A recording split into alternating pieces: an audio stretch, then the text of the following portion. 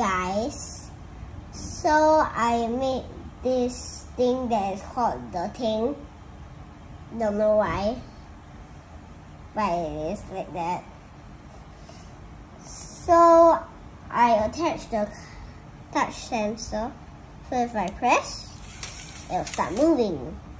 If I press it hard, then it will stop moving. Press again,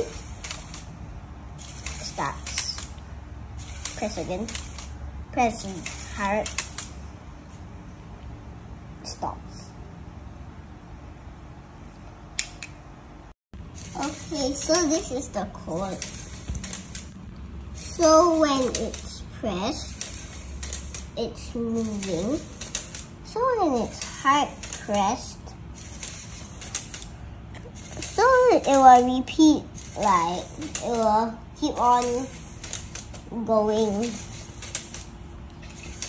left and right, left, right until I press on it hard. Then it will stop moving. Then if I press lightly again, it will move. So that's how it works.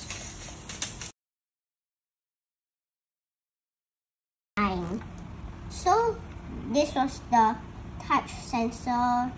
So when I pressed it, it moved there, there, there, right? This was the hub that stores all the code. This thing was the one that move, made it move like this, this, this, this, this, this. Keep on bouncing. The back is the motor. So that was, so the motor, there was small thing over here. And then it is attached to the motor because the motor behind has a, a hole so that it can fit through fit.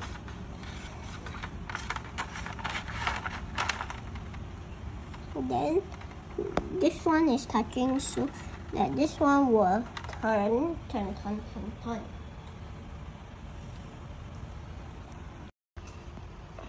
So you can also play with it with a ball. It's how good your accuracy is. Like, yeah, yeah, my accuracy is not good.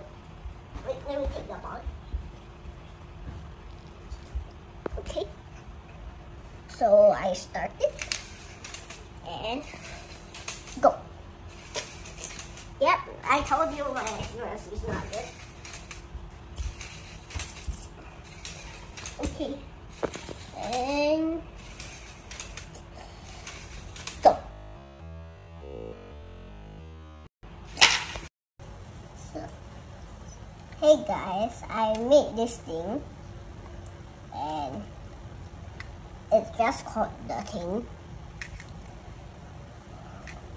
So, if you press on the touch sensor lightly, then it will start moving.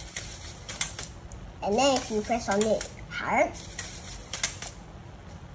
then it will stop moving. But if you press again, it will start moving. Stop. Stop. Stop. And also, there's an ultrasonic sensor in the front. So if there's a person like walking, walking, walking, walking, walking,